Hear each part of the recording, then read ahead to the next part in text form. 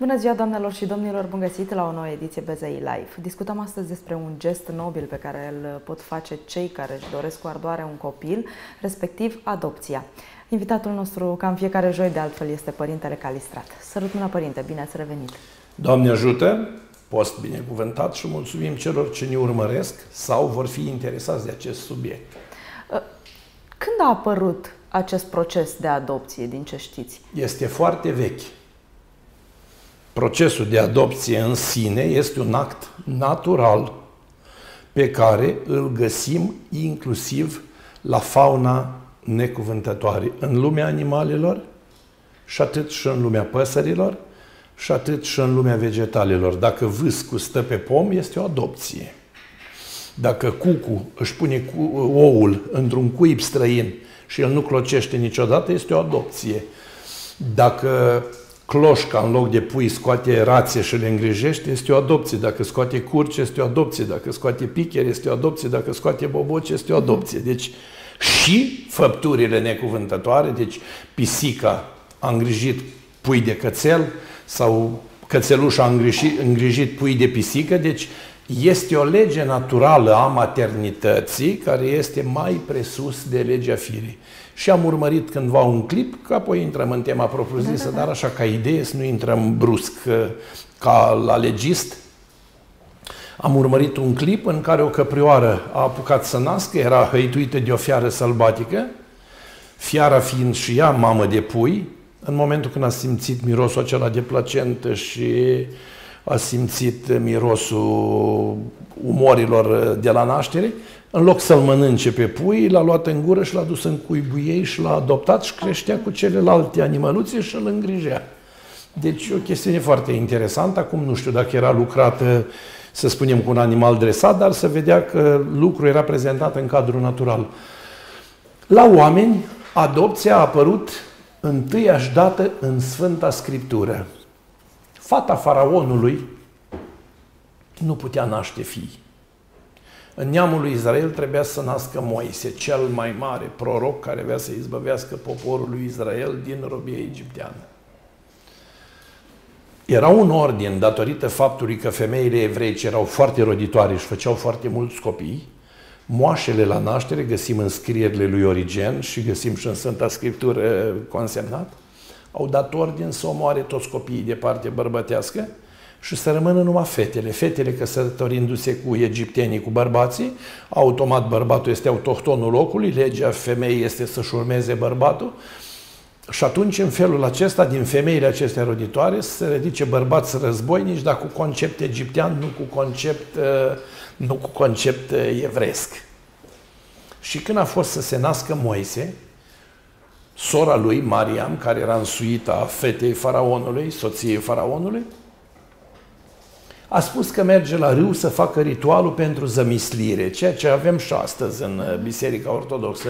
Deci, întâi de toate, în general, uh, mamele cele mai traumatizate din acest punct de vedere sunt întotdeauna mamele care nu pot naște fii, pentru că cea care naște fii, de obicei, uh, naște copii naturali și crește, nu contează numărul, dar o să vorbim și despre adopția și în mod natural, cu toate că există copii, și atunci eh, Mariam face un coș din nuiele, îl smolește, pune pruncul în apă, trimite niște slugi în secret să-i dea drumul de pe Nil mai la deal, pune smoală ca să nu, să, să nu simtă rechinii mirosul, pentru că Nilul avea și rechin și putea să-l mănânce. Fata iese la, la apa Nilului să facă ritualul cu suita și deodată se aude un scâncet de copil și crede că acel eh, prunc a fost dat de Dumnezeu poruncește imediat să fie scos la mal și se adresează lui Mariam, chiar sora lui, care îi spune așa, căutați o doică să-l alăpteze.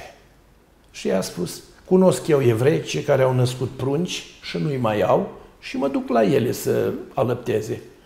Și l-a dus pe Moise și a subt la mama sa, dar el de fapt era fiu al femeii faraonului.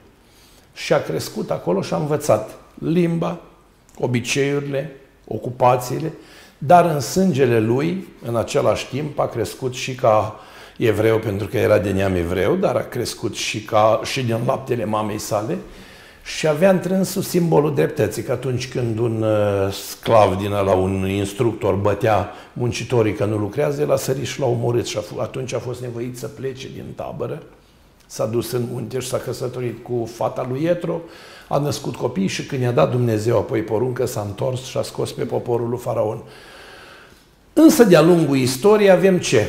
Războaie, avem uh, nenorociri, avem paradigme istorice, avem uh, chestiuni de conduită familială, fie regală, fie boierească, fie de uh, numele bun al familiei. Și dacă ne uităm și la împăratul Constantin, mama lui, care era o femeie de statură simplă, foarte frumoasă, foarte isteață, cred că era, cum am spune noi azi, ca o șefă de restaurant, ca o hangiță.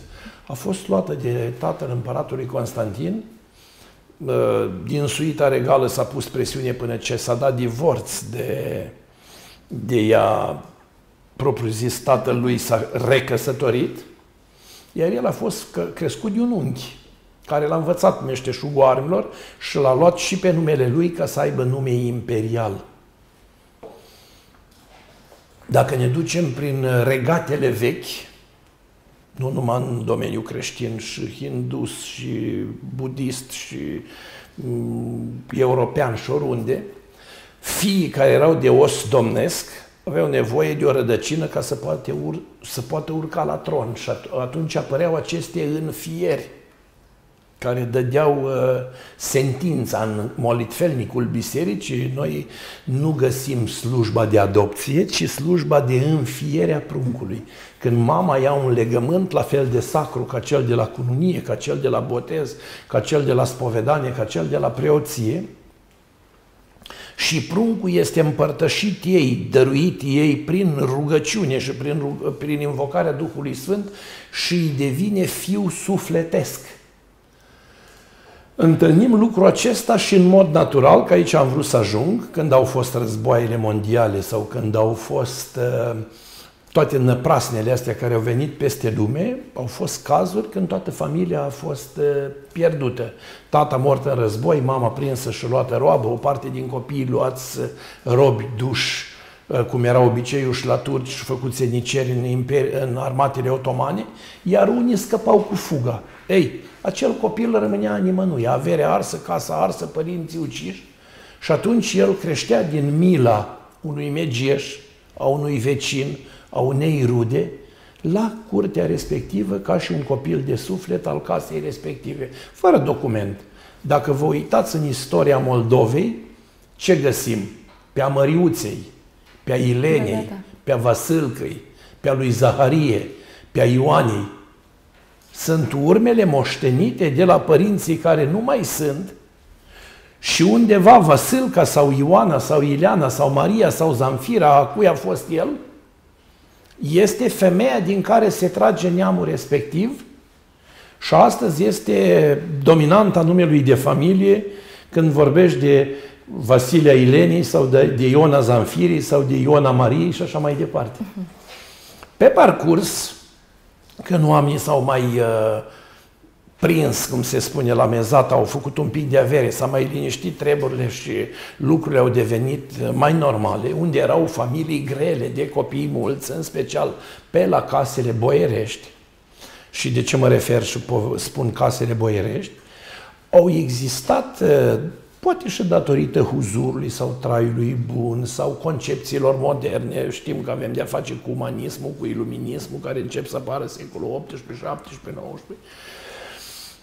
Și lumea s-a civilizat și atunci a dispărut conceptul de a crește copii sau de a naște copii. Fie că năștea boierul 1 sau poate să îmbolnăvea și murea sau năștea 2 și se întâmpla ceva, erau bolile acestea, cum a fost tifosul, ungoarea, difteria, ciuma și toate nenorocirile și atunci boierii ce făceau? Aveau pe moșie sclavi, iobagi, robi, șerbi.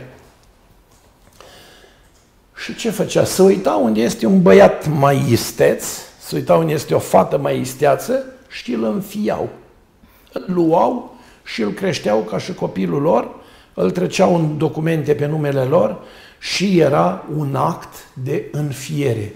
Ce era la vremea respectivă uh, important la vremea respectivă în actul înfierii?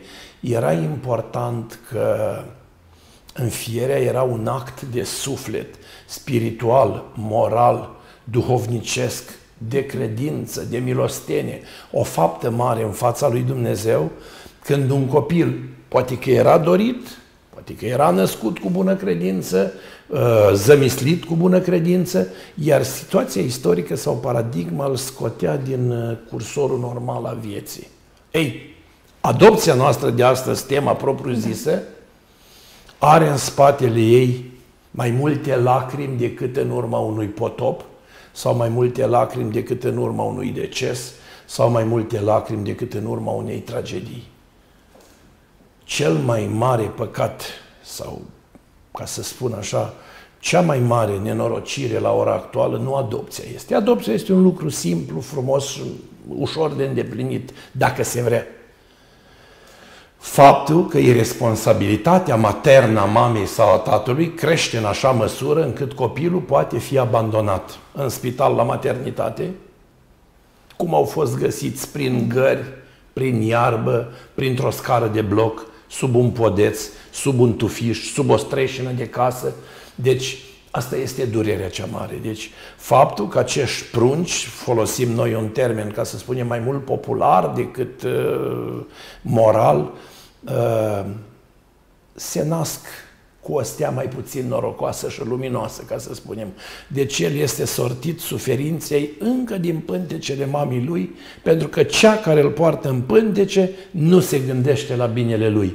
Dar cred că mulți oameni, mă scuzați că vă întrerup, mulți se întreabă ce poate fi în inima unei astfel de femei, că mamă nu poate fi numită, Uh, poate fi numită mamă. Pentru, Doar pentru că a dat uh, naștere? Pentru că a dat naștere. Da. Faptul că nu l-a întrerupt din, din zămislire și procreere și din creștere în viața intrauterină, ea nu-și pierde statutul de mamă, indiferent cât de rea ar fi.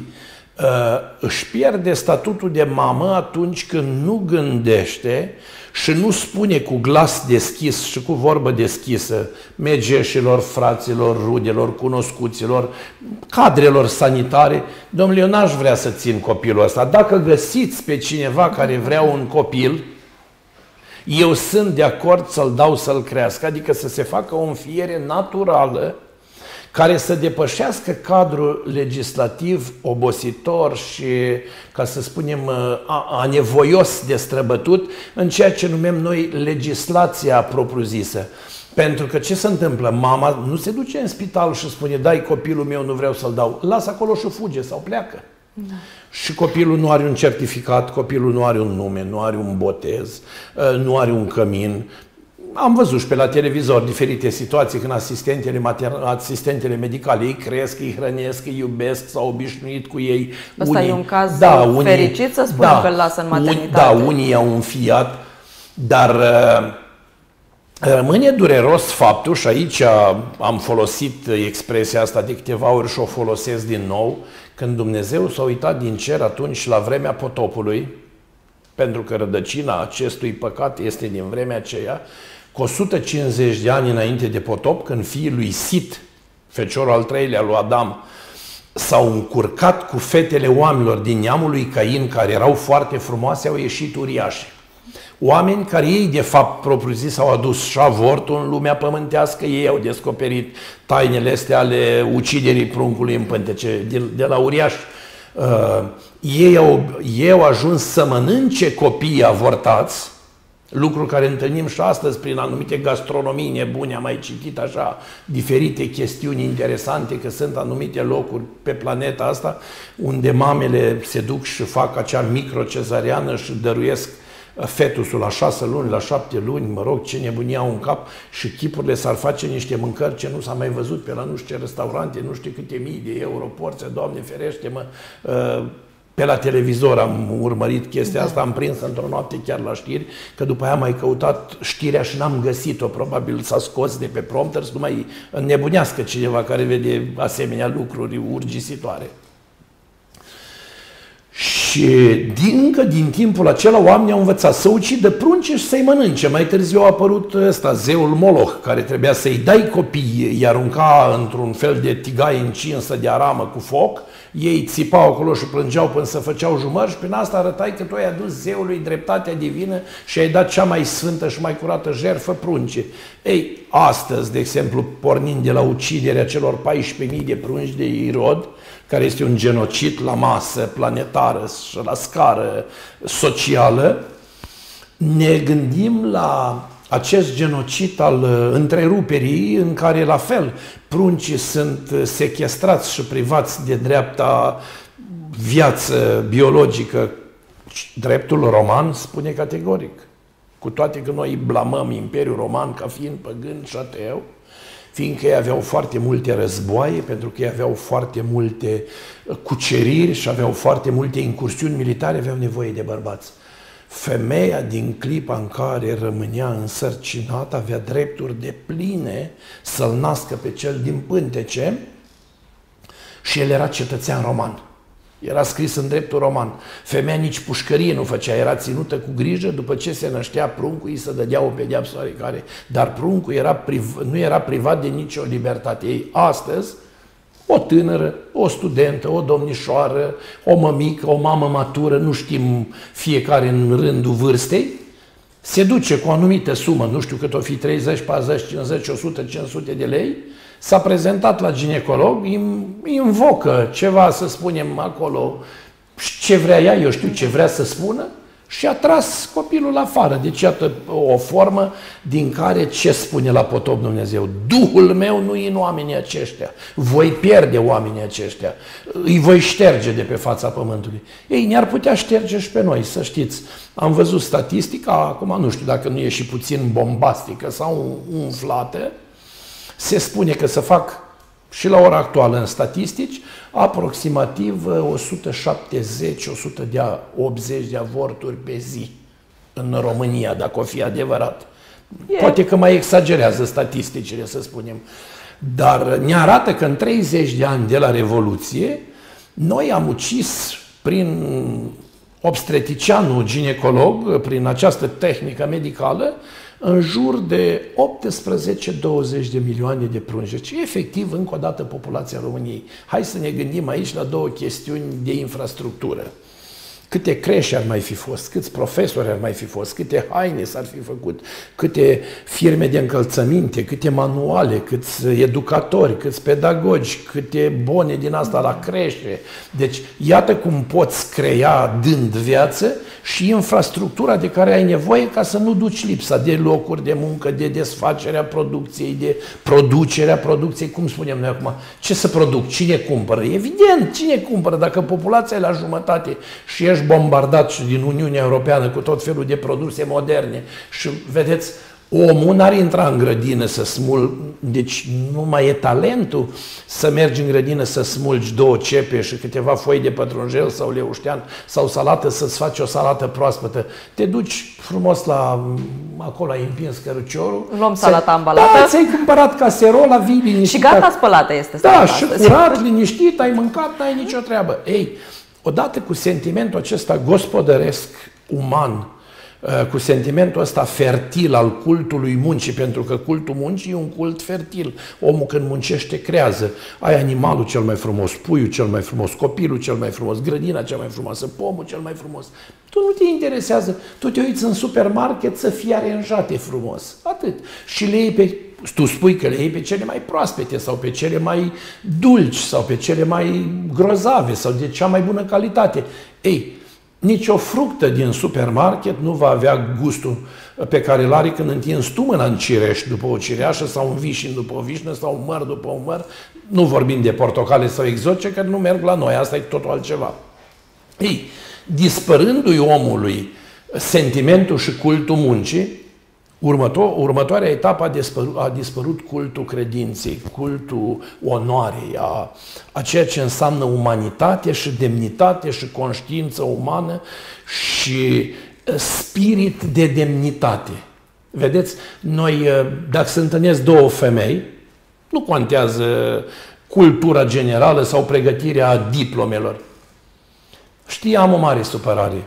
Da, ce s-a întâmplat? Da, am fost atentă și am rămas gravidă. E, dar du-te la cutare, te trimit eu.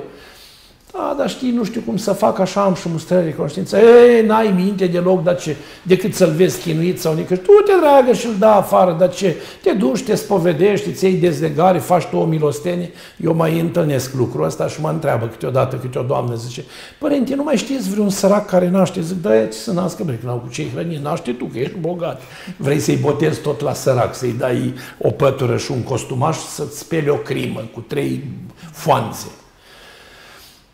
Și atunci a apărut și sentimentul ăsta inuman, pentru că nu poate fi numit altfel, deci nu-l putem cataloga altfel, nici nu putem judeca, știi cum, de vecăta la fără legi, Doamne, cine îți va mântui, că la tine e milostivirea, toți ar trebui să perim. Și ne spune și psalmistul, toți s-au abătut, netrebnici s-au făcut, nu mai este cel ce face bine, nu mai este până la unul.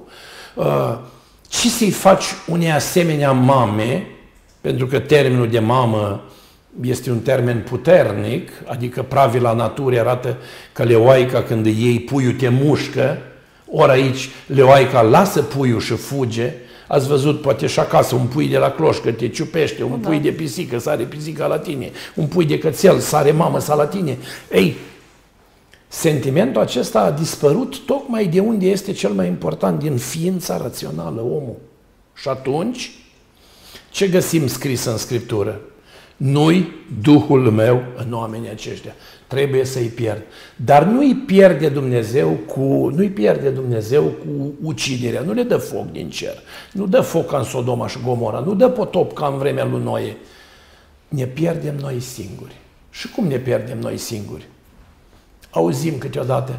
Știi, în cutare loc este un, un bătrânel și o bătrână. Mai au avut copii? N-au avut copii. Iată pierderea.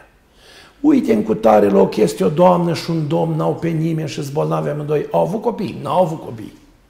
Eu m-am obișnuit în calitatea, în dreptul meu spun, nu vorbesc în dreptul altuia, aproape toți ucenicii mei au al treilea și al patrulea copil. Le-am explicat că fără o demografie sănătoasă, constructivă, nu, nu pe fond zootehnic, adică hai să facem copii de dragul de a face copii, noi dispărem ca neam, ca nație. Trebuie să fim conștienți că vom fi înlocuiți din nevoia paradigmei dispariției speciei.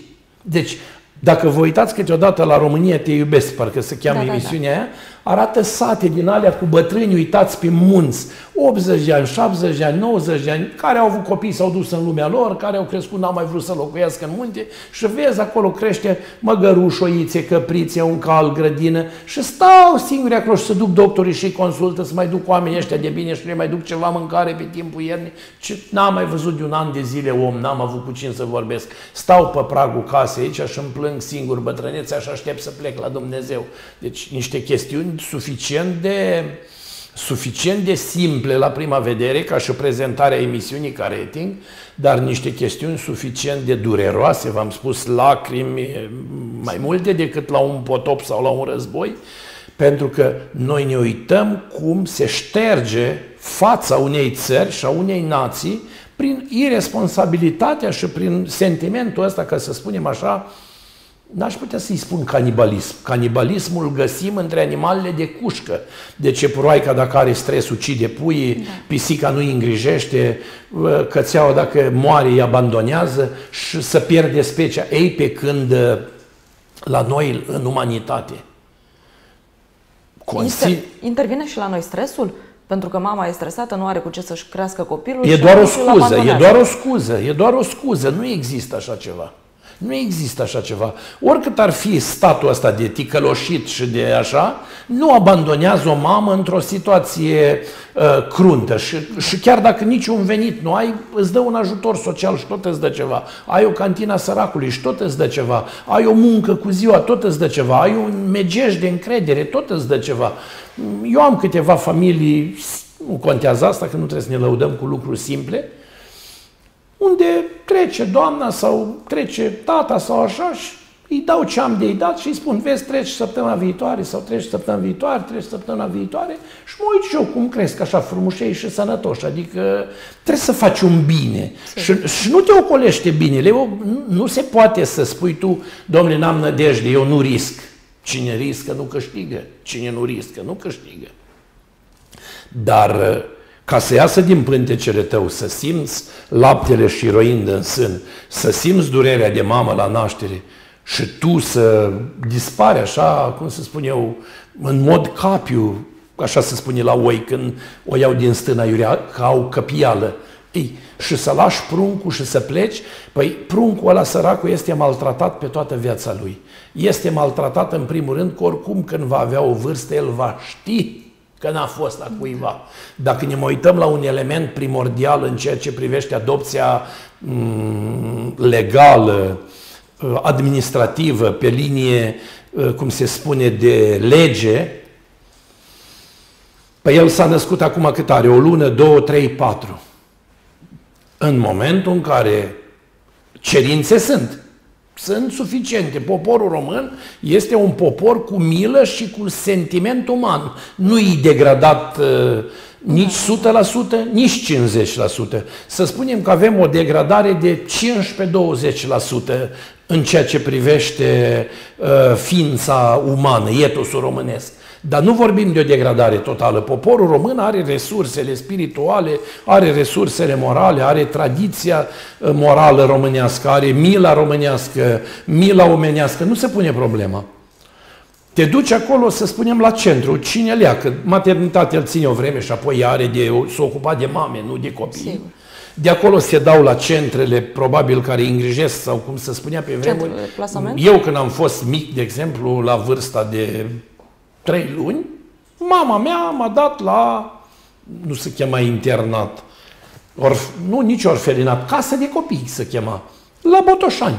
Și la trei ani jumate am venit acasă pentru că contextul de atunci nu i-a permis ca să mă țin acasă. Mi se pare că ei făceau casă, erau săraci, munceau, nu se descurcau și atunci au spus, îl ducem acolo, dar nu cu știință, nu lăsat baltă. Și au venit și m-au luat la trei ani acasă când deja era casa făcută și era tot, tot ce trebuie pus în ordine. Uh, bunica mea m-a adus acasă, că ea mi-a povestit lucrul ăsta. Eu am așa doar niște vagi amintiri, că am venit cu o mașină albă, mi-aduc aminte niște pătuțuri unde îți dădea sticlă cu biberon la trei jumate, cred că mai ai niște uh, rememorări așa. Nu țin minte personal nume sau altceva, dar paturile acelea cu niște sârmă din asta mai deasă așa și cu barec până la gât cât să te ții cu mâna, mi le amintesc perfect așa în amintire. și dup- da, și după aia am venit acasă și am început să mă joc prin o gradă cu ceilalți nepoți ai, că erau mulți, erau vreo 20 de nepoți de toți, de, din regnul, din neamul bunicilor mei. Și am crescut între oameni normali, dar când vorbim de adopție, ar trebui să avem grijă de cele trei lucruri fundamentale. 1. Starea maternă. A ieșit azi din mămică? Nu mai stai tu să aștepți să te scarpi prin urechea dreaptă cu mâna stângă începi să pregătești tu, pregătirea maternală. Pregă... Nu, domnule, ai dus mama care vine să ia copilul, te duci cu ea direct la un consult psihologic și psihiatric, că nu poți să dai copilul oricui, Sigur. asta e lege. Te uiți să vezi dacă nu are antecedente, boli, boli incurabile, boli cronice, boli psihice, traumatisme din astea în viață. Ai chemat-o pe mama frumos și pe tata, ai scos din teanc certificatul de naștere, a venit ofițerul de stare civilă, i-a dat numărul de înregistrare, i-a trecut numele familiei tale, i-ai pus băiețelului ce nume vrei acolo, ud, crud, de o săptămână, de o lună, de două, de trei, de patru, cât are el, i l-ai pus în brațe și jos declarația de răspundere pe propria răspundere în numele legii. Nu ai voie să-l abandonezi, nu ai voie să nu porți grijă de el cum trebuie, poți să lași un an de zile, doi, să spunem, Mm, echipamentul specializat, că noi avem niște asistenți de ăștia care fac uh, un fel de verificări. Anchetele. nu știu cum se cheamă, verificări la domiciliu.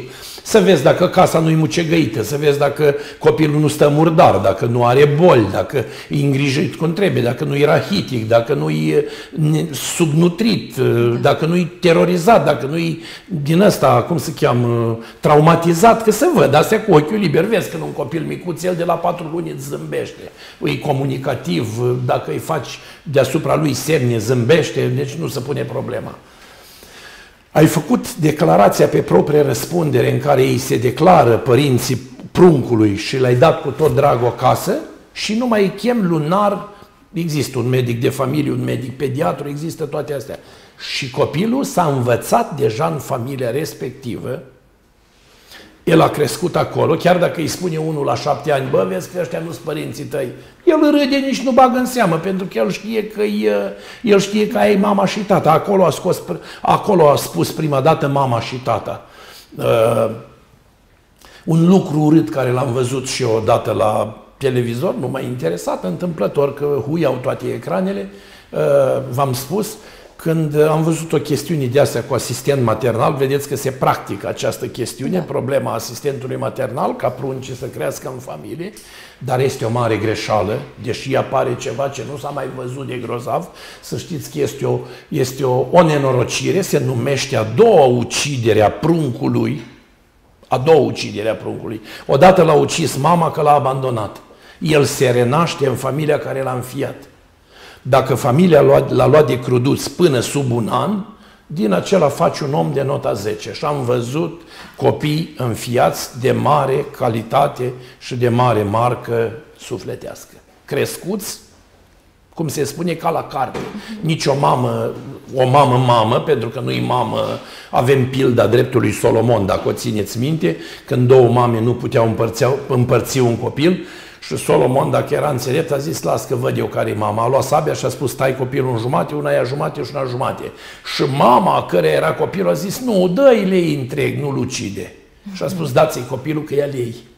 Ei, și în situația aceasta, trebuie și la noi tranșat lucrul ăsta, că am văzut o formalitate, că zice, nu-l puteți înfia că nu vrea mama. Tu erai mamă că te-ai avut copilul da. în brațe din clipa când copilul a rămas în maternitate, tu nu ești mama, ești o persoană oarecare ieșită pe ușa maternității, care nu mai are dreptul asupra acestui copil niciodată, prin gestul săvârșit. Nu condamnabil, nu judecabil, da. nu în sensul de a o sândi, de a jigni. Scurt. Nu mai vii tu să spui cine lea și de ce lea, cine îl lasă și ce face. Aici hotărăște legea statului hotărăște căminul care ține copilul, hotărăște institutorii, respectivii oameni care sunt abilitați în această problemă și copilul se duce în familia unde nu-i va lipsi nimic și crește cum trebuie. Așteptând ani de zile cu pregătirile astea eu spun că astea sunt numai niște pierderi de vreme. Multe familii se descurajează și renunță pe parcurs la procesul de adopție. Nu știu, n-am avut tangență niciodată. Am avut două sau trei familii care am, eu i-am obligat să înfieze că n-aveau prunci. Le-am spus, vreți la bătrânețe să împartă alții averea voastră, să n-aibă cine vă dau o cană de apă. Și au luat și de 4 ani, și de 7 ani, și de 8 ani, dar în schimb am văzut carențele. Cu cât ei sunt mai mărișori, sunt inadaptabili familial. Rămân cu traumele pe care le-au dobândit în timpul acela al petrecerii în uh, plasamentul respectiv, da, sau cum da. se numește, unde au crescut la stat în uh, casa de copii. De ce? Cu cât copiii se dezvoltă, încep să deprindă. Și deprinderea este ca și puiul, de, cum v-am spus. Dacă cloșca a scos rație, ea nu înțelege de ce alea să bălătăcesc în apă, dar ea se duce și are grijă de ele, le culcă, le hrănește, le strigă, le poartă. Ei, așa e și pruncul ăsta. Tu poți să-i dai șapte mame, el nu mai avea, va avea mamă niciodată. Tu l-ai ucis a doua oară, pentru că l-ai luat din centru de plasament, de unde el știe că a plecat de acolo sau din căminul de copii. Și l-ai dat unei familii Acum să vă spun cum. Eu vă spun lucruri văzute de mine de la spovedanie, nu lucruri văzute și auzite. Povești cu zâne, cu Petre Ispirescu și cu basme, astea se termină toate frumos, că se cultivă moralul și binele din poveste. Dar am văzut mame nervoase, părinți nervoși, îl trântesc, îl izbesc, îl agită, n-au răbdare, se enervează și copilul devine ca o sălbăticiune care în momentul când găsește portița, precum pasărea de colivie, când a găsit poarta deschisă, a plecat și s-a terminat da. misiunea. Nu mai faci treabă din el. Și aici se naște sau este cuibărită sau aici clocește delicvența. De aici începe viața copilului fără stăpân. Nenorocitul din groapă, de sub pod, din canale, de pe străzi, de prin gări, abandonați aiurea sau și în familie cu probleme, pentru că el n-a trecut cum trebuie etapa. Deci eu consider că noi ar trebui să avem specialiști în domeniul ăsta, pentru că ne considerăm o țară ultra-civilizată, nu o trec peste asta cu NATO, cu europeană, cu politicării de astea ieftine. Noi mergem pe domeniul de specialitate. Nautonologul, când iese copilul din mamă, îți spune dacă are calități și dă o notă asistentul medical pediatru îți spune că aude, că nu-i surd, că vede, că are simțuri. Uh, medicul de familie spune că e răcit, că e vaccinat, că e tot ce trebuie. Mama care își ia un medic automat și știe oricând și sună, dar de ce ar plânge, de ce scâncește, dar de ce mănâncă, dar de ce nu mănâncă, dar de ce doarme, de ce nu ia în greutate, e un alt medic. Da. Dar el când crește acolo cu niște badante din asta, sau cum se numesc angajate infirmiere sau ce sunt ele, mamoșe din alea, și stau cu ei în casa de copii, eu nu spun că nu ar avea sentiment, că bănuiesc că fiecare are un copil acasă, dar când stai 8 ore, 10 la servici și tu acasă te duci la copiii tăi obosită și epuizată, nu cred că ai timp să mai urmărești toate mărunțișurile Nivelul astea. de empatie scade, clar. Exact. Și atunci, copiii ăștia sunt uciși a doua oară când sunt dați prea mari la părinți, ei poate sunt prea în vârstă sau și ei neobișnuiți cu stilul copiilor, pentru că copiii au un mod de formare. Când îl ai de mititel, tu îl înveți într-un anumit fel, când îl iei gata mărișor, îl iei cu carențele ca atare. Acum s-ar putea simți deranjați, deranjați reprezentanții direcțiilor de protecție Eu nu fac asta ca să-i deranjez. Pentru că exact cu asta se luptă, cu faptul că toate familiile își doresc să adopte copii cât mai mici ori păi asta este scopul. Sco- scopul este biologic. Scopul este biologic. Scopul este biologic.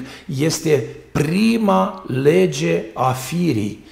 Puiul unde se naște, de acolo și ia mirosul și simțurile. Consultați pe cei mai mari psihologi ai lumii, consultați cei mai mari doctori pediatri, consultați cei mai mari oameni de știință pe teme de prunci, și o să vedeți că copilul între 1 și 3 ani înmagazinează toate simțurile materne și paterne ale familiei.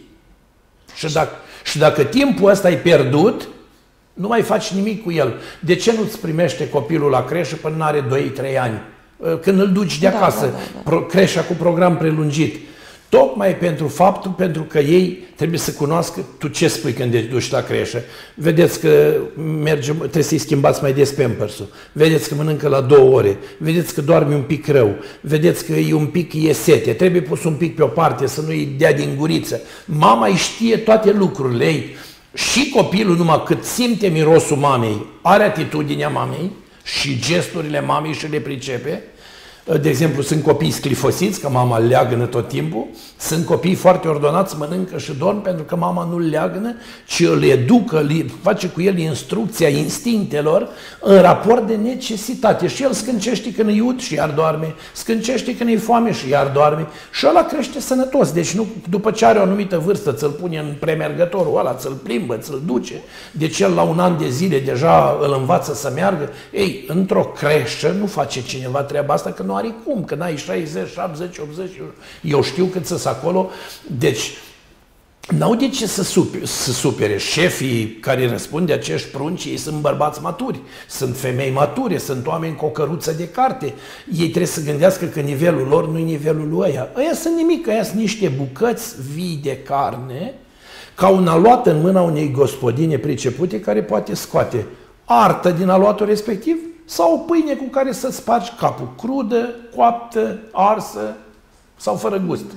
Dar în același timp poate ieși și un valoros produs de patiserie, adică niște copii de cea mai bună calitate. Și atunci, în momentul când ai simplificat toate poveștile astea și copiii pleacă cât mai rapid, mie mi mai ușor să-i dau unui asistent din ăsta specialist în copii să aibă 10 familii adoptate pe care să mi le monitorizeze, să mi le supravegheze, să mi aducă doar rapoartele sau fotografiile, cam ce totul e modern, pac, exact. pac, pac, pac, și să arăți că totul merge strună și l-ai integrat în societate, și mi mult mai, mai simplu decât să stau să urmăresc, să văd că ăla s-a îmbolnăvit, că ăla nu-i vaccinat, că ăla l-a bătut pe ăla, că la învățarele de la ăla, că la e așa, că la e așa. Pentru că, să știți, în toate casele astea de copii sunt imense probleme. Noi nu trebuie să ne ascundem după deget.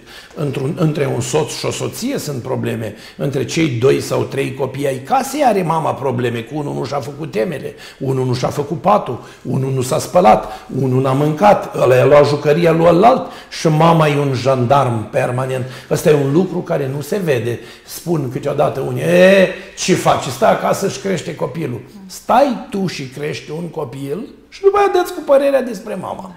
Asta aici câteodată soacrele mai greșesc pentru că ele au dus vremuri mai grele.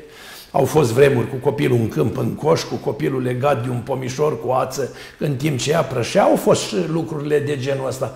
Dar dacă lumea a evoluat și noi ne-am civilizat, profităm de civilizație și căutăm să facem din adopție un transplant de viață socială perfect. Asta trebuie să facem din adopție.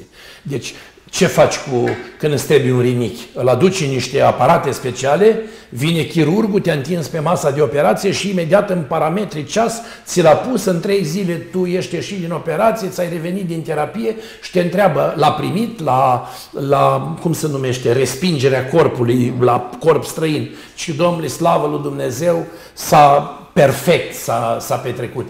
Ei, Așa trebuie să facem noi cu copiii ăștia. Transplant social de viață perfectă.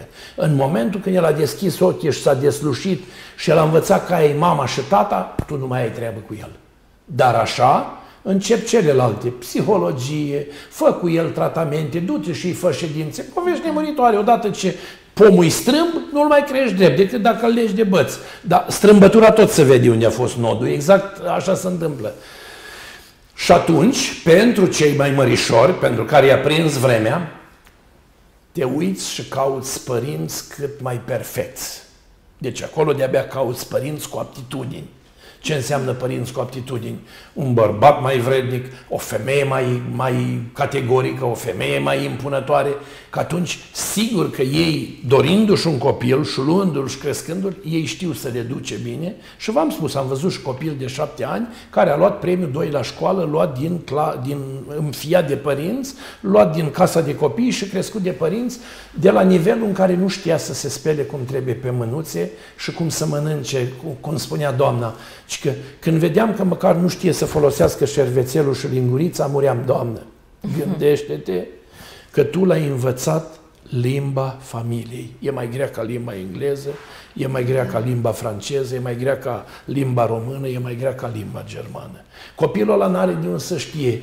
E ca un pisoi sălbatic băgat într-o cameră care se agață de perdele, e rufe, se bagă pe sub pat, pe sub dulap și până îți simte căldura, până vede că tu îl speri, până vede că tu îl îngrijești, până vede că tu porți grijă de el, el se îmblânzește. Ei, așa și copilul ăsta. Sigur că n-a fost din prima perfect, dar acum când vezi că a luat premiul 2 și când vezi că e deștept și vezi că învață, sau mi-a spus o altă doamnă, tot ucenică bună de-a mea, mă doare, mă doare, zice, un singur lucru sufletul o iubesc, țin la ea, o cresc, mi dragă, o simt că nu s-a atașat de mine ca mamă, se teme de mine și se ascunde.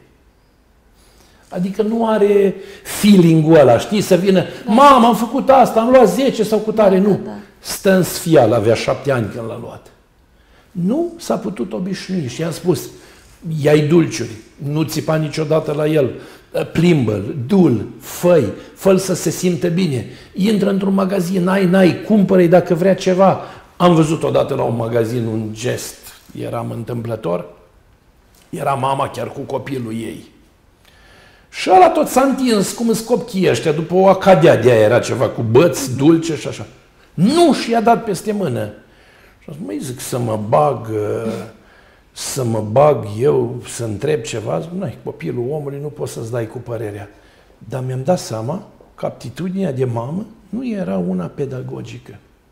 Deci, ca mamă, trebuie să fii ca o bunică din povești.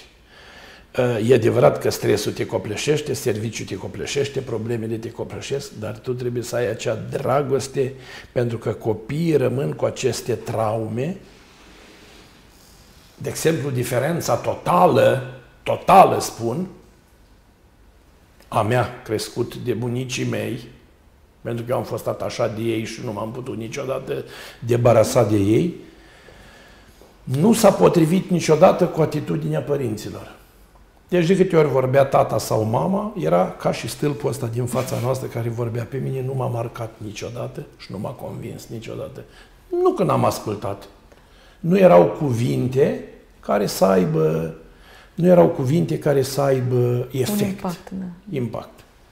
Bunica mea, de exemplu, îmi spunea, iar te-ai, nu te-ai închinat, iar nu te-ai spălat, iar ai făcut așa, iar ai făcut așa. Aia era parcă mai important o leacă decât, uh, bă, s-a supărat. Las că mă duc să o împac. Hai, te ajut la ceva, faci ceva, ai nevoie de ceva, e, ești trengar, mă iei cu bună. Tu trebuie să fii cu minte. Cine fură azi un bou, mâine, ou, mâine va fura un bou. Și eu, la vremea aia, când aveam 4, 5, 6 ani, mă gândeam, hai mă, cu un ou îl bagi în buzunar, dar bou trebuie să mergi cu el pe drum și te vede lumea. Cum trebuie să-l furi ca să nu te vadă cineva? Aveam și odată întreb, zic, păi cum să furi un bou dacă te vede lumea pe drum? Păi nu trebuie să-l furi, că nu e a tău. Adică niște chestii mărunte și logice mm-hmm. care fac parte din educația vârstei. Și deci a doua greșeală în uh, adopție este adopția făcută la disperare. Ce înseamnă adopția făcută la disperare? Am văzut câteva cazuri nereușite, nu dau nume pentru că sunt chestiuni de spovedit, în care a luat la întâmplare ce i s-a dat din uh, ce i s-a dat de acolo din uh, cămin. Nu, nu s-a uitat că e bun, că erau a zis să fie un copil. Ei, nu s-a nimerit așa. S-a nimerit ca aptitudinile pruncilor care acum aveau și 7, și 8, și 9, în momentul de față acele persoane au 13 și 14 și 15 ani, Uh, copiii da, da, da. respectivi înfiați pe care îi cresc respectivele doamne și a spus așa. Pe de o parte mi milă și mă gândesc că e un suflet și dacă mama lui l-a aruncat așa ca pe o nimica, să o fac și eu la fel, dar pe de o parte mă doare sufletul și mă uit cum crește strâm ca un pom fără roade, dar nici semne bune nu sunt. Nu îi place cartea, nu mă ascultă, n-are nicio înclinație, n-am văzut să-i placă să citească, n-am văzut să placă să-i cânte, n-am văzut să învețe, n-am văzut să scrie.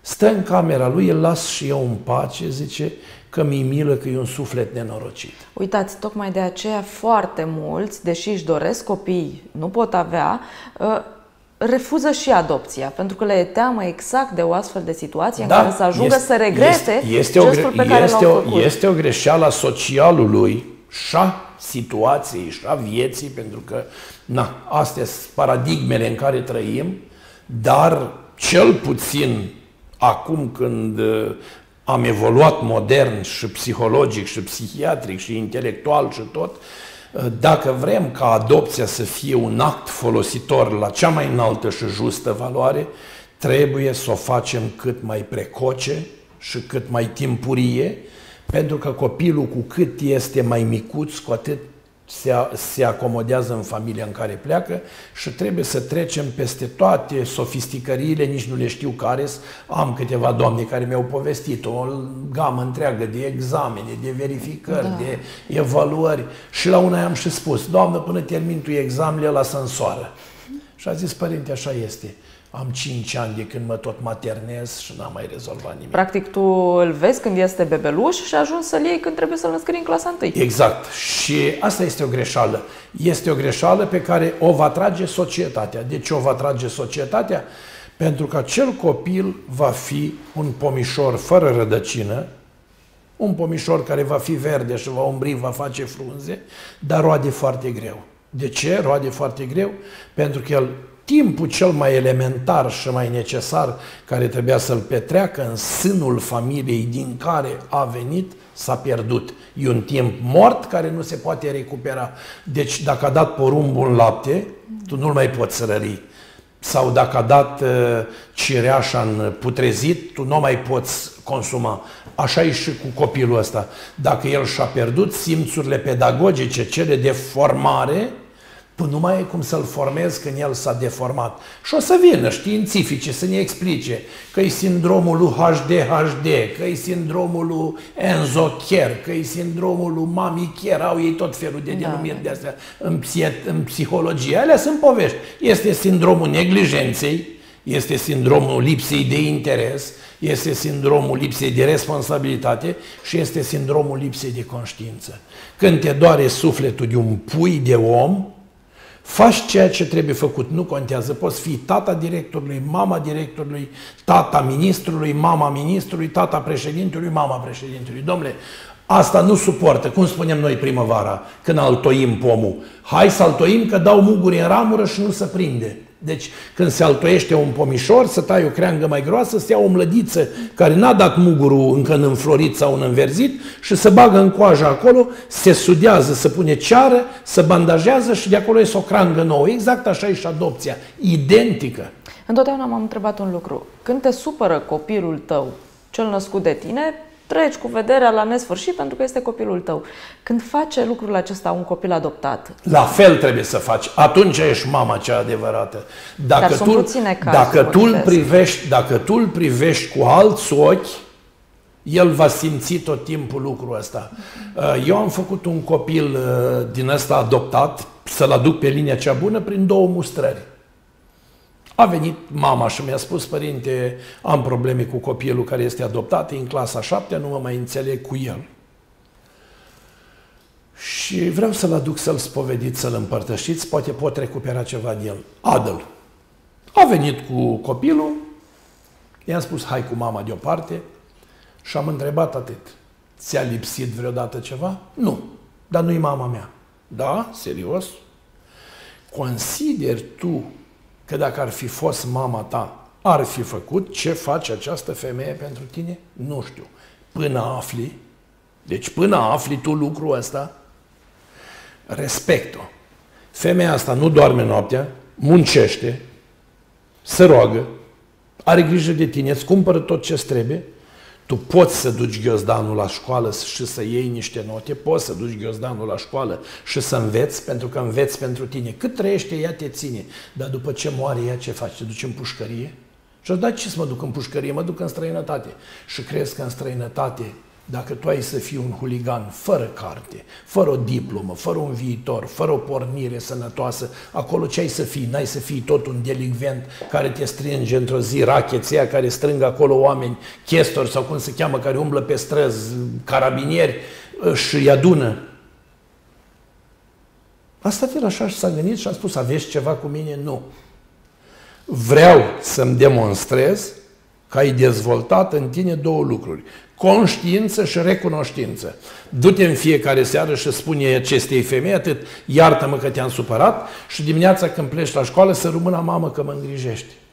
Nu a durat prea mult timp și discutând cu doamna respectivă mi-a spus Părinte, nu mai este violent, nu mai este agresiv și verbal și așa, s-a liniștit, simt că ce ați spus i-a folosit, dar nu știu eu cum să mă port să nu creadă că îl lingușesc sau să nu creadă că o fac de ochi, nu știu cum. Poartă-te ca și cum ar fi copilul matale. Dacă vii de la serviciu, vină cu două bomboane în buzunar. Dacă vii de la serviciu, vină cu două ciocolățele în buzunar. Dacă ai o vorbă bună, spune-o întâi una lui și cealaltă las-o pentru tine. Și încă după un timp îmi spune, zice, Părinte și-a găsit doi prieteni foarte buni, doi colegi de clasă și lucrurile evoluează în foarte bine. Nu m-am așteptat vreodată ca acest copil să-și revină. I-a ieșit ideea că aia nu-i mama lui și că nu-i casa lui și că nu știu ce. Uh-huh. Da. Dar uneori trebuie și puțină muncă și puțină străduință și de asta v-am spus, nu contează că e al tău și îți face probleme, ba pe al tău îți poți plesni, că ăla n-are altă cale de ieșire și ăla știe că trebuie să asculte că e mamă sa, dar când e o problemă delicată, trebuie să ne gândim întotdeauna că orice organ transplantat nu este ca un organ original. Trebuie protejat mai bine, nu? Exact. Uh-huh. Asta este problema. Deci adopția este o chestiune de finețe asemeni nașterii din Duh. Când vine un tânăr pe o poartă a mănăstirii, ă, te porți cât mai frumos și mai educat și mai elevat și mai spiritual cu el ca să prindă dragoste de mănăstire.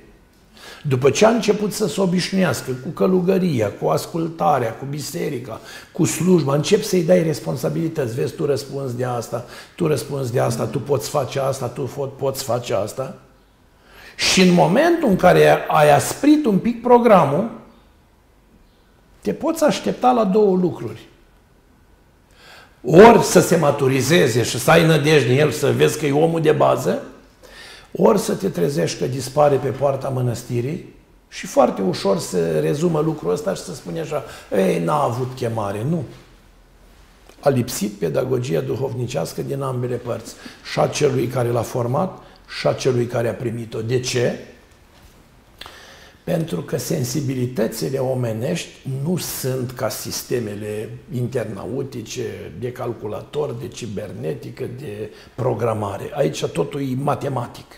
În om totul e relativ.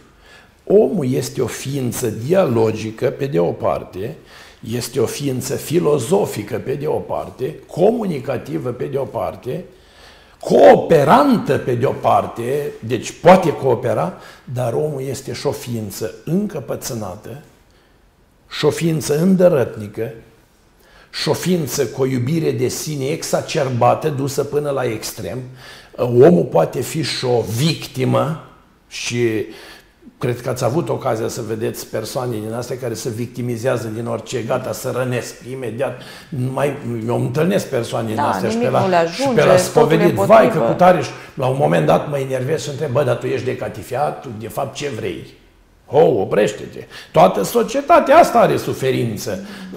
Încearcă să eviți suferința din greu și să te lipești de suferința cea mai ușoară care o poți suporta. Iisus n-a stat în catifea și l-au atămâiat, a stat bătut în cuie pe cruce dacă tot o faci pe creștinul. Nu că n-aveți dreptate, ați intrat cu bocanci în sufletul meu. Hm, dacă așa crezi tu, asta e. Eu, sclifosele, nu am timp de ele, astea le, le eradichez prin voință. Cine nu se întristează decât pentru păcatele lui sau pentru faptul că nu poate face mai mult bine decât face, ăla nu e om, ăla e, o, e, o, e un fel de uh, pare a societății, un fel de, de tolerat al societății sau un fel de om care așteaptă tot timpul ceva de gata. Ei, și în adopție lucrul ăsta trebuie ținut cont de el, pentru că știți când dispare efectiv sentimentul de adopție definitiv din ochii sau din inima și din sufletul unui adoptat, fie copil sau fată? În momentul când apare dorința de a-și crea o familie proprie și atunci el prețuiește la maximum ceea ce a primit, că de acum trebuie el să dăruiască la copiii lui. Și din clipa aceea a dispărut uh, sentimentul de adopție. Deci, din clipa aceea, el nu mai este un adoptat, el este un părinte. Și din clipa aceea s-a maturizat. Dacă a făcut lucrul ăsta, e totul perfect. Uh, cred că mai au o spaimă cei care adoptă, părinții adoptivi. În momentul în care trebuie să-i spună copilului că este înfiat. Este cea mai mare greșeală. Am spus-o la mai multe persoane de ale mele și la unii copii le-am spus eu. Așa au spus părinte să nu afle. Dar ce să nu afle? Mai puiule, mama ta a trecut printr-o încercare foarte grea, și te-a lăsat în seama mamei tale, care o ai acum. Tu trebuie să știi că ea există. Momentan roagă-te pentru ea și când îi fi tu mare, dacă îi vrea să știi cine a fost sau să o cunoști, du-te și o caută. Dacă crezi că o poți ajuta la vremea aia cu ceva bine, dacă nu o poți ajuta, stai aici cu mama ta până ai să o poți ajuta, dar să nu o disprețuiești niciodată, să te rogi pentru ea. Și a zis, da, mie mama nu mi-a spus niciodată. Zic, cred că n-a considerat că ești prea mic și nu trebuie să știi, dar tu trebuie să știi lucrul ăsta. Trebuie neapărat să știe? Da. Știi de ce? De ce? Dacă el este atașat suficient de familia care l-a adoptat, pentru el aia e o simplă informație, odată, și dacă el nu este adaptat, pentru el aceea e o curiozitate și un mod de comparație. Dar aia ascunde lucrul ăsta care vine dintr-un act de egoism propriu, dar eu ți-am dat, dar eu ți-am făcut, dar eu cu tare. Nu, eu nu ți-am dat. Tot ce al tău e și al meu, îi spune tatăl fiului risipitor, lui fiul care stătea cu el tot timpul, care era, în, care era în, cu el în împărăție. Și ce mie nu mi-ai dat măcar un ied. Așa trebuie să știe și copilul ăsta adoptat, că el s-a bucurat de un dar divin care i s-a pus la dispoziție din lucrarea lui Dumnezeu, pentru că valoarea lui personală trebuia protejată, iar acești oameni și-au asumat această răspundere. Nu este adevărat. Cred că mulți părinți adoptivi se tem de faptul că acel copil va dori să-și cunoască părinții naturali. Să o cunoască și dacă o cunoaște, ce nicio problemă. Caut-o, cunoaște cine te oprește? Care-i treabă? Apare un N-apare durere, nimic. mă gândesc. N-apare, nu apare nimic. Nu apare nimic. Să știți un singur lucru. Să nu uitați lucrul ăsta și vi-l spun tot din, din spovedanie. Am avut uh, o mamă că întâlnești multe probleme cu, cu propriul ei copil, acum vorbim, nu de adoptat, și copiii au șantajul emoțional. Copiii sunt cei mai buni psihologi. Psihologii cred că sunt psihologi. Copiii sunt adevărații psihologi. Te învârt de nu știi cum te cheamă cu buletinul în mână. Și următorul psiholog din uh, familia noastră este pisica. O felină te manipulează cum vrea ea. Mm-hmm. Îi faci toate mofturile și îi faci toate tabieturile și o alinți și faci ce vrei pentru că ea știe cum să te citească. Ei, copilul la fel.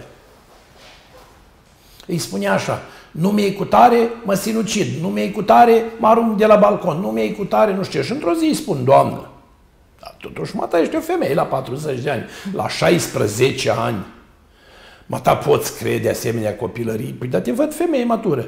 Mergi acasă, nu-i spune nimic, poartă-te frumos normal, taie din buget, taie din orgolii, taie tot liniștit și dacă spune vreau aia, nu am, o să-ți dau, sunt dispusă să-ți dau, dar acum nu pot, ca să-i da. cultiv răbdarea, și când o să spună prima dată că eu mă arunc de la balcon, faci următorul lucru. Deschizi ușa și îi spui, iată balconul este liber, te rog să sari. Știți ce a răspuns copilul?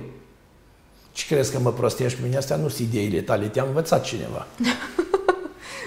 Că să vedeți că n-a urmat sinuciderea, n-a urmat trauma. Nu. Da, da. Copiii știu să șantajeze părinții emoțional și să obțină ceea ce își doresc. Uh-huh. Și mai greu, din păcate, adoptabili sunt copiii uh, cu vârstă mare și cu dizabilități. Acum să vă spun și un lucru. Cine își, cine își asumă adoptarea unui copil cu dezabilități este un mare erou. Acela este chiar un mucenic. Da. Ăia sunt nejudecabili, sunt necondamnabili. Uh, de-abia de aia trebuie să aibă grijă statul și eu pentru copii de genul ăsta aș face în felul următor. Aș trânti un apartament din ăsta cu o singură cameră, cu baie, cu bucătărioară și în momentul în momentul când am găsit persoana abilitată să aibă fie asistență socială terminat sau psihologie și vrea să aibă servici, îi dau în primire un copil din ăsta, fie că vrea să-l înfieze de tot, să atașează de el, dar întâi un an, doi, trei să muncească cu el ca să-l cunoască, să-l vadă și cine vrea să-l adopte, să-l adopte cu toată binecuvântarea, cu toată bucuria, și dacă îl îngrijește, asta este mare plată la Dumnezeu, pentru că acela este un copil neajutorat. Și ăștia se pot naște și în familiile noastre normale. Normal. Aia nu-i judecabil, într-adevăr. Este... Eu personal, dacă aș adopta un copil, n-aș adopta decât 3-4 sănătoși, sub nicio formă unul bolnav. Pentru că ținta pe care o urmăresc este să lasă în societate ce un urmaș să nască o familie, să poarte numele, să nască niște prunci, să mă bucur de niște nepoți. Deci, cine poate face acest lucru este un erou.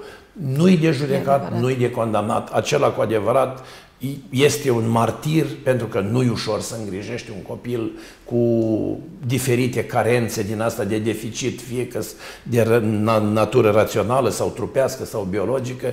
Deci asta într-adevăr nici nu poți să judeci pe cineva sau să-l obligi Eu n-aș putea o face, deci recunosc. L-aș crește, dacă l-aș avea, aș avea grijă de el. Dacă să fie vreodată al meu cu acte, nu, nu l-aș lua, pentru că mi-ar conveni să iau patru sănătoși care să văd că au învățat o carte sau au ieșit ceva din ei. Da, da, da.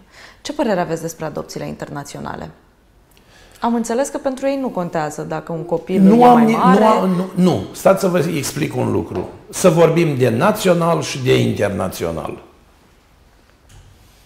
Eu ca țară, dacă ar fi ceea ce la noi nu se face și am spus tot, dacă am spus lucrul ăsta. În primul rând pentru, în primul rând pentru românii noștri, pentru doritorii de prunci, că există în toată țara asta dorință de a crește prunci, toți care ar vrea le-aș da ce vor ei să-și aleagă. Îi chem ca pe îi, îi chem ca pe negustori la stână. Frate, asta e marfa. Vezi de cine te atașezi. Alege-l tu. Vezi, îl studiază, îl vorbește, intră în vorbă cu el să vezi cum te lipești, cum... Copiii, v-am spus, ei știu să-și cucerească părinții, chiar dacă sunt adoptivi. Așa-i dau. Cât despre adopțiile internaționale, N-am nimic împotrivă, pentru că și sunt tot oameni și mă rog, sunt mai bănoși și din afară. Dar n-aș fi niciodată de acord cu ceea ce am văzut acolo la Mehedinț, când la asistentul maternal cu șmecheriși, cu fușării din astea ieftine, i-a luat fetița aia, era o țigăncușă, dar frumoasă, era un copil dulce, se vedea că era atașat de părinția. Ăla nu-l mai luam de acolo, ăla a fost ucis de două ori, dultul în America și dă turnul Eiffel, sau că l-ai prin Franța, parcă. dă turnurile Gemini, că nu mai sunt, și nu o să-l faci fericit. Undeva în inima lui copilul ăla a rămas pe totdeauna marcat. Deci, smulgerea de colo-colo, ca și cum ai scoate cartofii din grădină și îi pui dintr-o tar la alta, este inadmisibilă în această lume a adopțiilor. Și aici greșelile le fac ai noștri cei mari, dar sunt și polițe pe care Dumnezeu are grijă să le plătească în viață.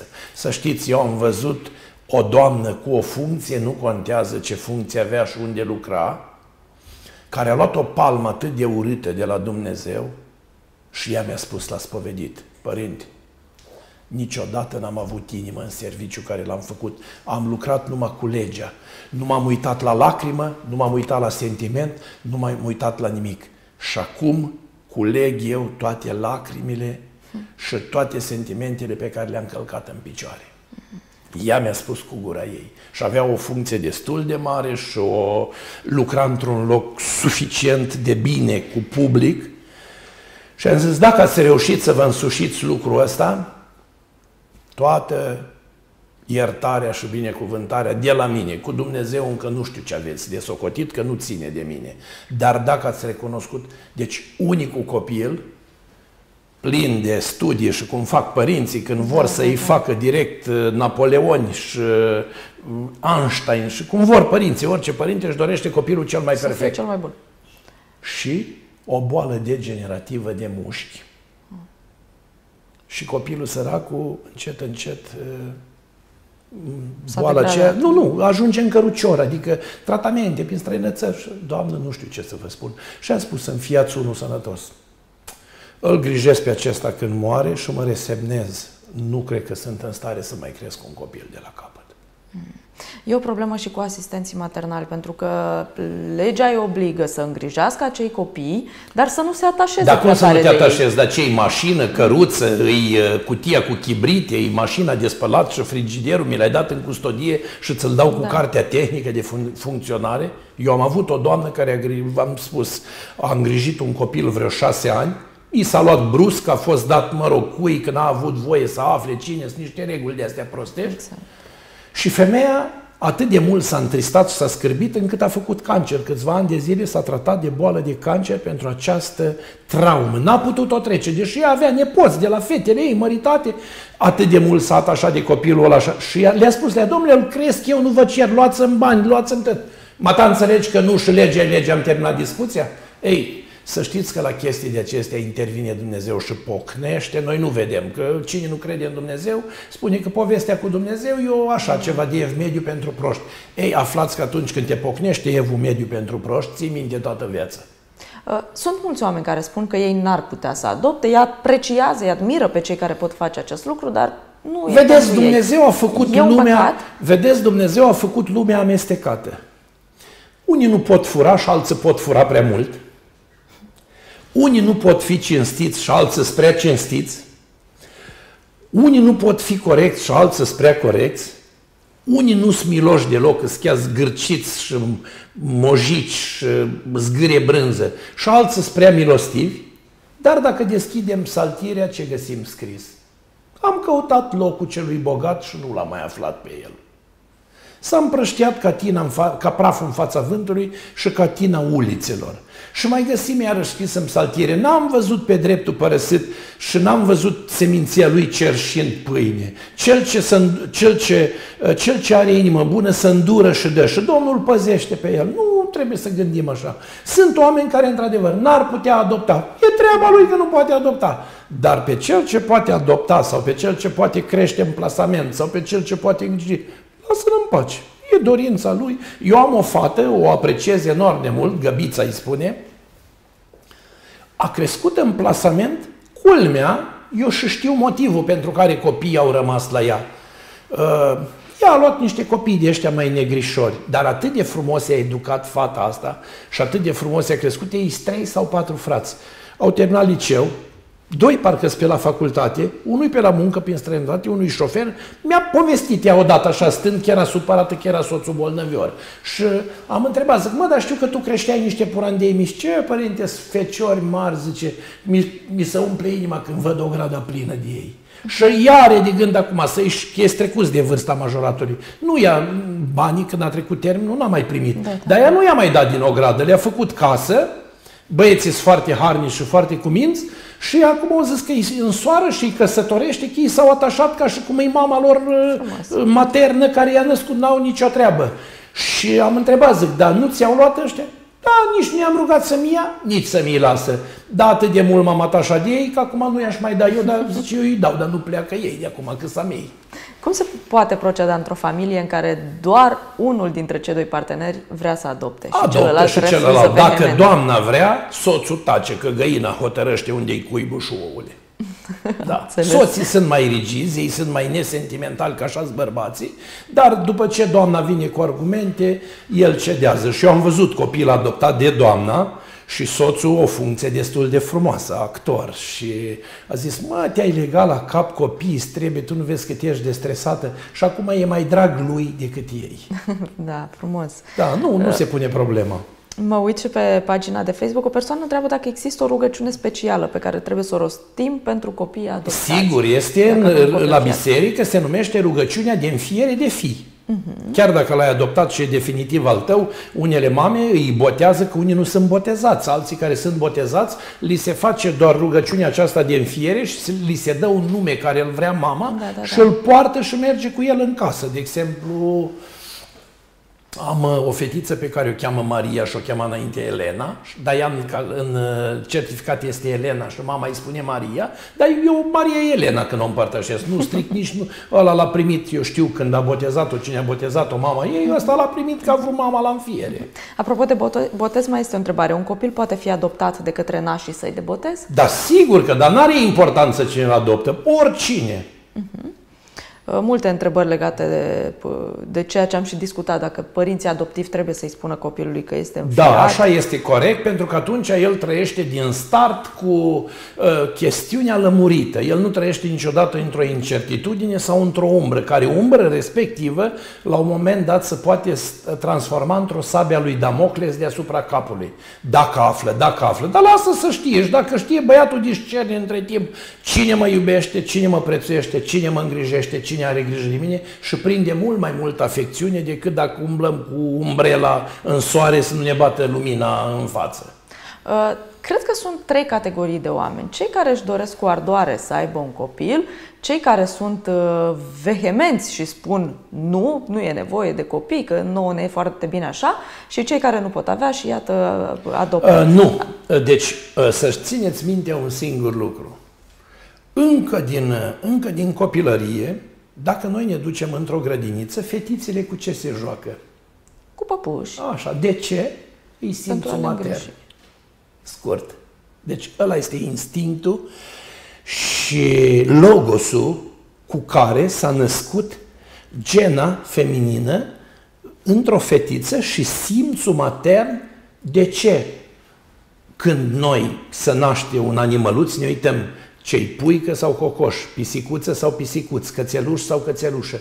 Noi știm, zice, nu, opresc cățel sau țin cățelușă că vreau de, să am de prăsilă. Ei, Așa este și în lumea noastră rațională. Fetele, dacă n-ar fi, nu ar fi mame pe lume și n-ar fi copii, pentru că bărbații nu pot naște deocamdată, în ciuda tuturor transgenderilor, mamele nasc fii și de aici se vede lipsa logosului, cu oricât și-ar dori ei să le dea legea orice drepturi, tot nu vor fi vreodată materni, nu vor putea purta sarcină în pântece, iar băieții cu ce se joacă? Șofează, au cai, au săbii. Deci apare instinctul bărbătesc, el se dezvoltă de mic. Dacă tu îl îmbraci în rochiță în curcubeu și îl dai cu ruj pe la buze, atunci sigur că îi schimbi direcția. Da. Dar dacă tu le duci cum trebuie, de aia vorbim de șapte ani de acasă ai mamei, atunci copilul crește ceea ce trebuie să fie. Și să țineți minte, orice fecior, orice flăcău de la 20 de ani, își dorește să fie tată. Sunt băieți care își doresc viață de pușlama, ca să spun așa, să umble el fleaura, să bată discotecile, cluburile, să-și trăiască viața, dar eu spovedesc asemenea indivizi, asemenea persoane. Și știi ce îmi spun? Părinte, mi-am făcut un pic de cap și simt că l-am supărat pe Dumnezeu. Aș vrea să-mi intru în rânduială. Caută o fată și strânge-te la casa ta să nu fie prea târziu. Și asta face, se însoară. Când nu se vor copii? Nu se vor copii când se merge în mod uh, avid spre ca, marile cariere ale lumii. Acum nu o să-i cerem, uh, nu o să-i cerem, să spunem, uh, Doamne Angela Gheorghiu sau lui Maria Calas sau marile soprani ale lumii să facă 10 copii. O fi da, făcut da, și ea da. la rândul ei, 1, 2, 3, cât o fi având. Dar te duci pe carieră. Dar uite că sunt oameni care au făcut carieră și cu copii. Așa este. Deci și actor, asta este, o, asta este o mare, nu, dar asta este o da, mare da, înșelătorie. Da. Este asta, cum îl cheamă, Brad Pitt, am zis bine? Da, ei are și are și născuți, și înfiați, și de toate. Deci nu copiii sunt problema, nu, lipsa de gândire matură și responsabilă. Ei, cei care vehement nu-și doresc copii niciodată, E treaba lor. Culeg roadele mai târziu, când averea trebuie împărțită alandala, uh, știți cum, uh, șacalii pândesc hoitul ca și vulturii stârvu. Cei care au înfiat și își doresc coardoare să înfieze foarte bine, cei care au adoptat și vor să adopteze foarte bine, cei care până la urmă se lasă danii unor persoane și le dau averea să-i îngrijească, o fac foarte bine, numai toți trebuie să o facă cu discernerea și înțelepciunea minții, să culeagă niște roade sănătoase și nu în bătaie de joc. Adică ce înseamnă în bătaie de joc? nici dacă l-ai înfiat să-l neglijezi, nici dacă l-ai adoptat să-l neglijezi, nici dacă l-ai luat în plasament să-l neglijezi, nici dacă te-ai dat dane să te neglijeze sau tu să-l neglijezi și atunci lucrurile sunt normale. Dar, în general, omul a fost făcut de Dumnezeu să-și vadă pe fiii fiilor lor, să se bucure de taina bucuriei, de taina nunții, de taina dragostei, de taina iubirii și de a vedea pe urmașii lor. Mă gândesc dacă unei familii îi este atât de greu să adopte, cum este în cazul unei persoane singure? Că sunt și astfel de situații. Am persoane singure care au adoptat și să știi că copiii cresc frumos și bine. Uh-huh. Da, nu se pune problema. Cred asta. Eu mă gândesc la piedicile puse de Am unul simpatic, stat, am unul simpatic pe care l-am învățat eu așa, uh, l-am învățat eu ambițios așa și zic, Andriu, îți spune, ia cum ești tu? Și el îmi spune, sunt deștept, sunt frumos, sunt macho, sunt inteligent, sunt viteaz și nu discut cu oricine. da, eu l-am învățat, da. adică să nu aibă crisparea aia sau, sau stresul ăla că el nu are tată și are numai mamă. Mm-hmm. Da. Ajungem și la finalul emisiunii. Uh, care ar fi mesajul legat de adopție? Mesajul ar fi așa. 1. Toate domnișoarele, toate mămicile, toate situațiile dramatice care apar, să nu ucidă copilul în pântece, să-l lase în pace, dacă se duce la maternitate, să se ducă cu, matern- cu responsabilitatea și să spună că îl poate dărui, adică îl lasă acolo, să nu-l abandoneze așa ca pe un nimic, iar cei de la maternitate și de la casele respective unde se țin acești copii și se cresc și se îngrijesc, cu cea mai mare viteză, până am plinit un an, fără prea multă formalaraie și pierderea vremii în hârtii, că așa se spune, mortul se îngropă cu pământ, prostia cu hârtii, să-i dăm rapid în sânul familiilor lor să crească frumoși și sănătoși. Pentru că atunci când vom avea mame bune, vom avea copii buni, când vom avea copii buni, vom avea bărbați buni, când vom avea bărbați buni, vom avea duhovnici buni, când vom avea duhovnici buni, vom avea și o mentalitate și o credință sănătoasă și dacă avem bunici sănătoși și bunice sănătoase și nepoți sănătoși, suferința nu mai are loc pe pământ. Copiii nu sunt marfă de schimb și de aruncat și de negociat. Copiii sunt viața viitoare a unei nații. O țară fără copii și fără urmași și fără generația care vine este o țară care moare din start ca un bolnav fără perfuzie. Vă mulțumim foarte mult, atât Cu respect prezență, și prețuire. cât și pentru tot ce ne-ați învățat și astăzi. Părintele Calistrat a fost alături de noi. În fiecare joi avem această emisiune săptămânală de la ora 12.30. Uh, rămâneți în continuare alături de echipa noastră. De la ora 15 urmează o nouă emisiune moderată de colegul meu Valentin Fuțanu. Noi ne vedem mâine de la ora 13. O zi frumoasă!